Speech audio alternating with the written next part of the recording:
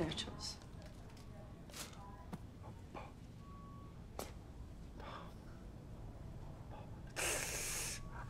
His, you know.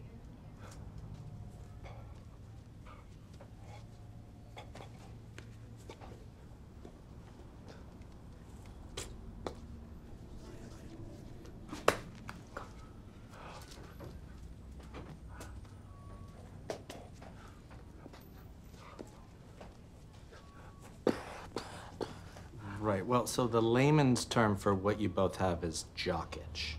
It's common if you spend a lot of time in damp clothes, and it's, it's easily transferable via intercourse. Yeah, I'll give you an antifungal cream, but you both have to keep the area dry and avoid sex for two weeks.